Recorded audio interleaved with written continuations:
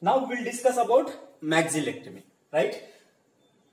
Maxillectomy is nothing but removal of the maxilla. But there are, if you see, there are four varieties of maxillectomy. The first one is partial maxillectomy and subtotal maxillectomy, total maxillectomy and radical maxillectomy with orbital, orbital exenteration, right?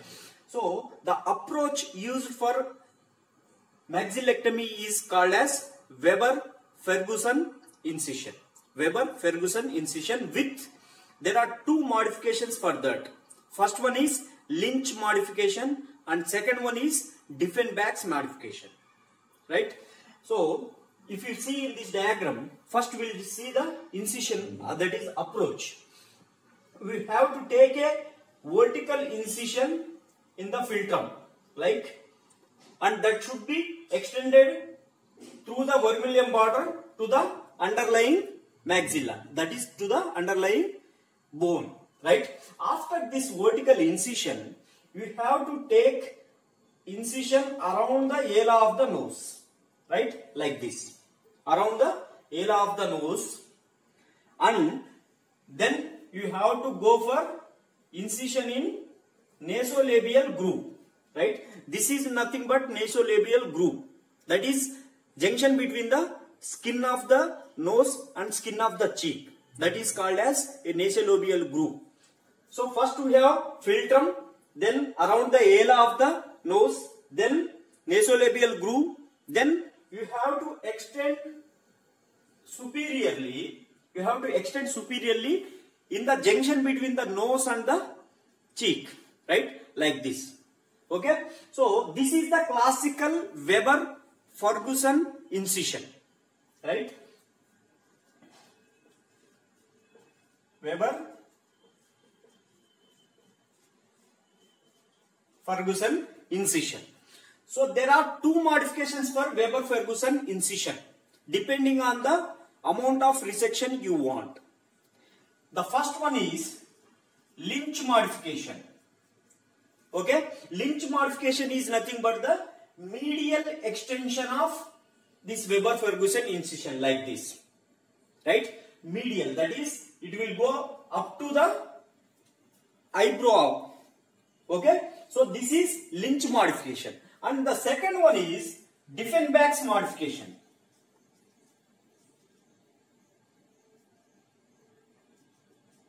Dieffenbach's modification. This is nothing but extension of this Weber-Ferguson incision laterally below the eyelid, right? In one of the skin creases, like this. This is Dieffenbach's incision. You can make the subciliary incision or in the in a skin crease between the lower eyelid and the cheek, right? So this is nothing but Dieffenbach's incision. When you are going for complete maxillectomy, that is total maxillectomy or radical maxillectomy, this Dieffenbach's incision is useful. Right? In case of radical maxillectomy with orbital exenteration, you have to go for a supraciliary incision also.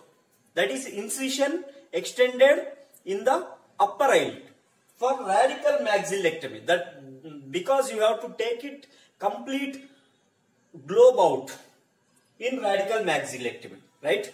So this is about incision. In partial maxillectomy you can do it intraorally also. Intraorally also right? So this is the maxilla. This is the one side of the maxilla. If you see maxilla also has four processes right?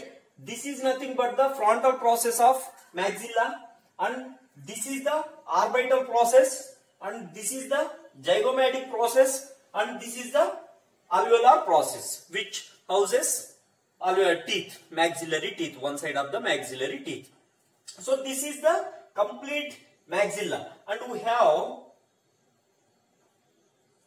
inside maxillary sinus also.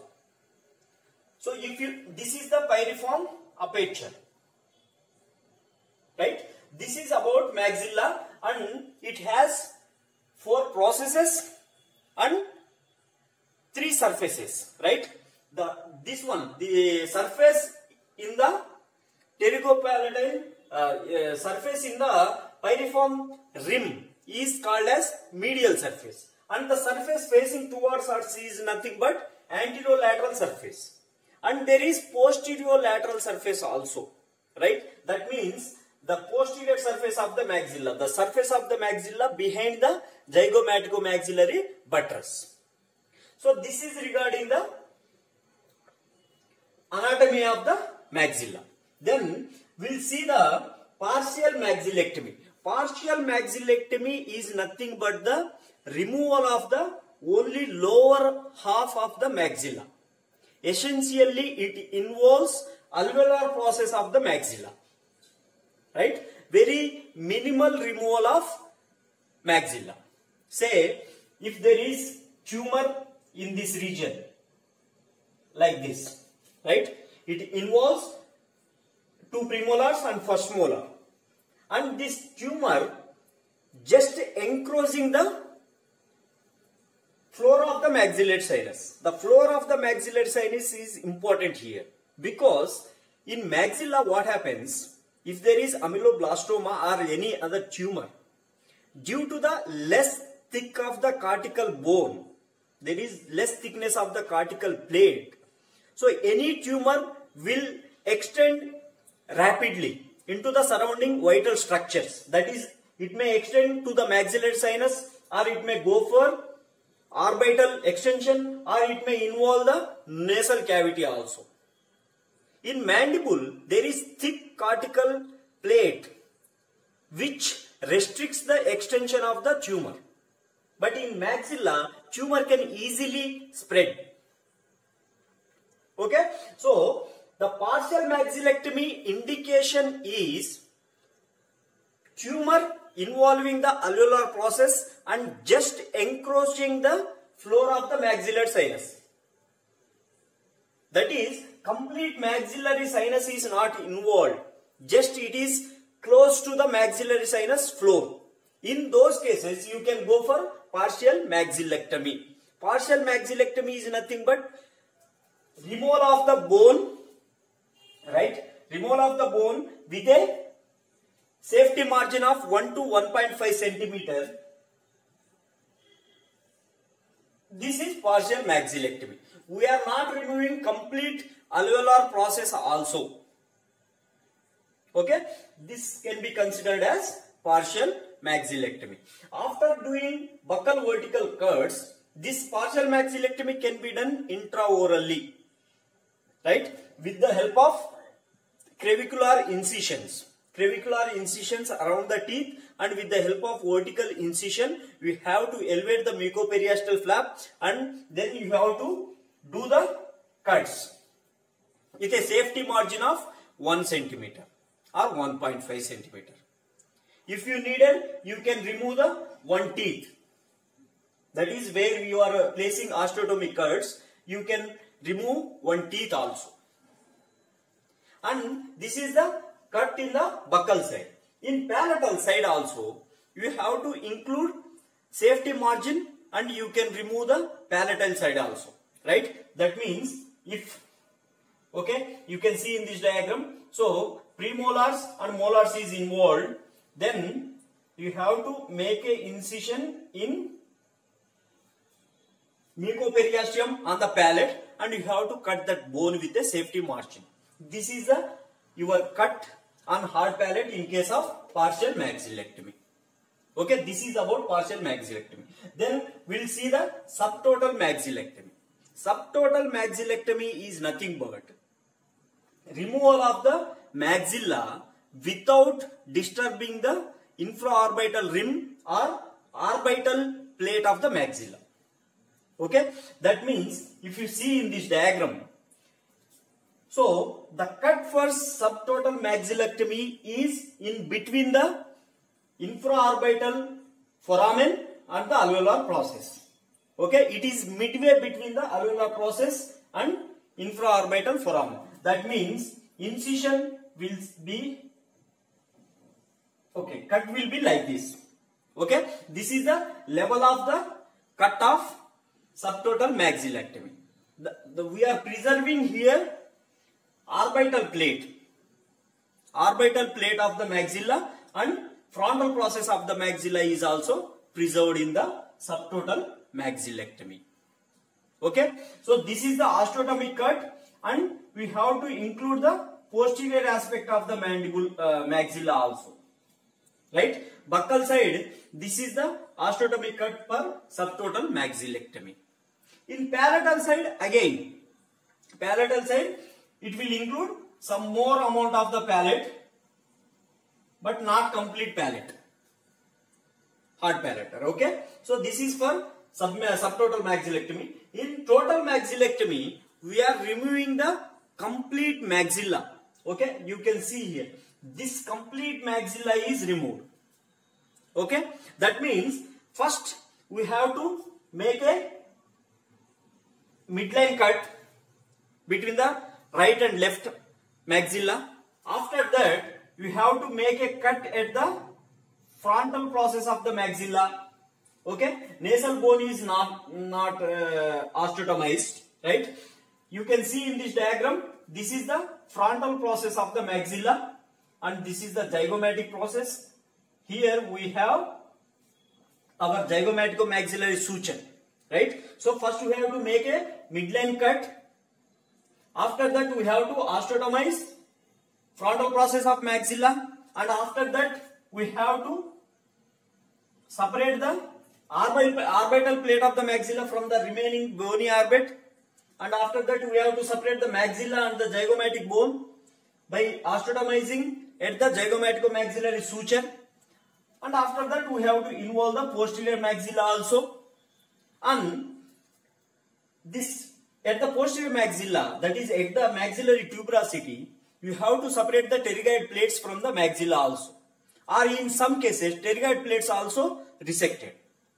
Right? This is for buccal osteotomic cuts for total maxilla maxillectomy okay so in total maxillectomy on the hard palate side you have to cut along the mid palate and raphe like this.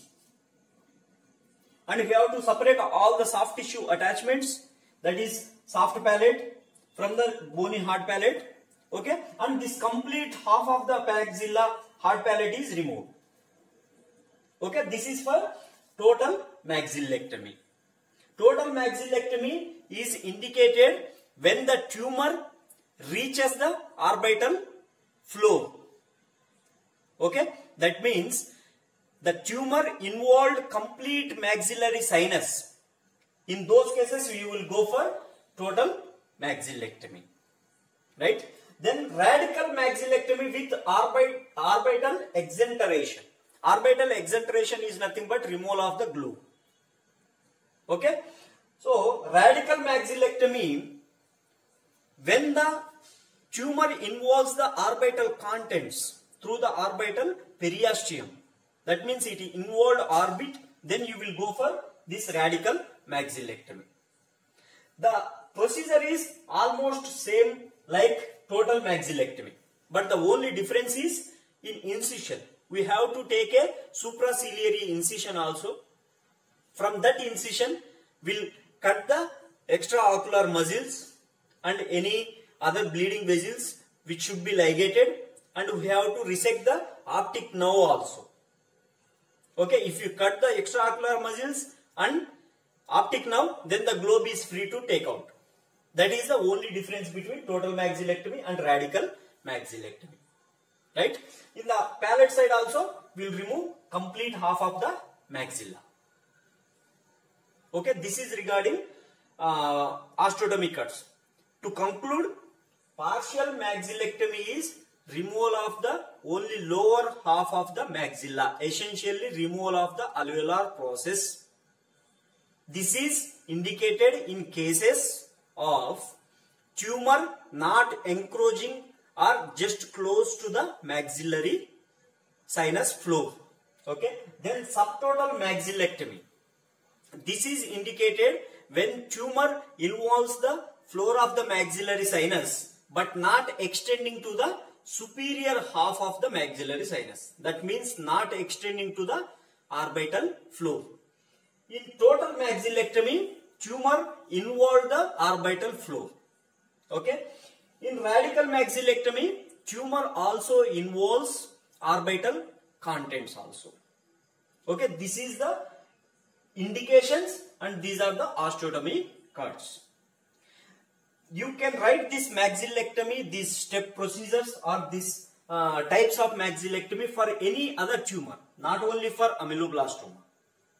Any other tumor or malignancy involving the maxilla, the procedure is almost same. After removal, will first place a obturator, a dental obturator and after almost uh, epitheliation, you have to go for reconstruction. Whether soft tissue reconstruction or bony reconstruction.